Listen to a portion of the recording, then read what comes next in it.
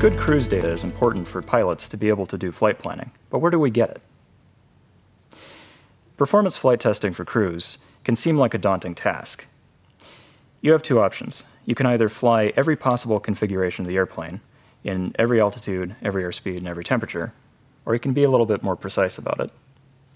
That's where the W over delta curve comes in. W is the weight of the airplane. Delta is the pressure ratio, the ratio of pressure at altitude over pressure at sea level.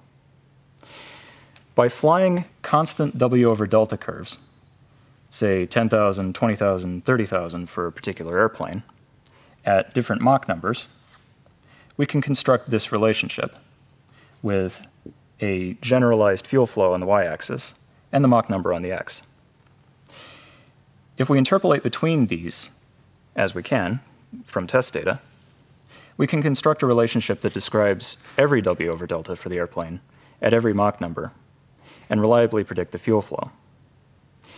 If we take the generalizations out of these equations, we can then come up with a fuel flow that is specific to an altitude and a temperature, and we can get an airspeed, which is going to be presented to the pilot.